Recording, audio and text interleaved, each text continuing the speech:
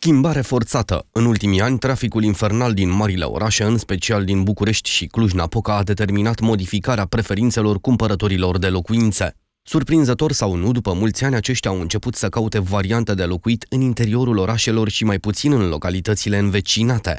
Astfel, deși mai scumpe, dezvoltatorii au început să livreze mai multe apartamente în centrul orașelor. Oamenii par să prefere varianta de a da o sumă mult mai mare pentru o locuință în favoarea timpului pe care l-ar pierde în trafic. În 2018, în București au fost livrate aproape 5700 de apartamente în oraș și puțin peste 5500 în zonele limitrofe. Astfel, 2018 a fost primul an din ultimii 12 în care orașul a oferit mai multe locuințe decât vecinătățile sale. Situația se repetă și în Cluj, unde lucrurile s-au schimbat și mai rapid. Cu excepția anului 2015, numărul locuințelor livrate în oraș l-a depășit pe cel din localitățile învecinate încă din 2014, iar în 2018 diferența dintre cele două zone aproape s-a dublat, în ciuda prețurilor mai mari din oraș. La schimbările de pe piață au contribuit și creșterea masivă a salariilor, în special pentru angajații statului și din domeniul IT, dar acestea s-au majorat în mai toate domeniile cu procente diferite, iar achiziția unei locuințe a devenit o idee mai accesibilă, mai ales că, deși în creștere continuă, prețurile sunt încă relativ